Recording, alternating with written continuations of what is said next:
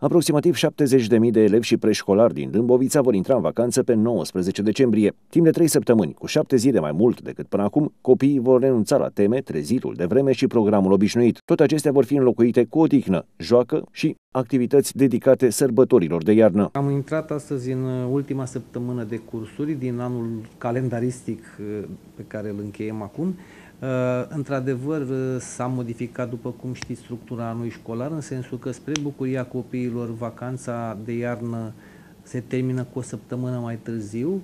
Ministerul a considerat, la momentul emiterii ordinului privind structura anului școlar, că data de 3 ianuarie era mult prea uh, de vreme, să zicem așa, după sărbătorile de iarnă. Vacanța de iarnă însă nu încheie cursurile primului semestru. Cursurile continuă până pe 5 februarie, când începe vacanța intersemestrială de o săptămână. Pentru a fi prelungită vacanța de iarnă, au fost luate cele șapte zile din vacanța de vară, astfel că vacanța mare va începe pe 25 iunie 2016 și nu pe 14 iunie, cum începea până acum, iar cei mici profită din plin deja de ultimele zile de școală. Au format grupuri de colindători și au plecat să ureze.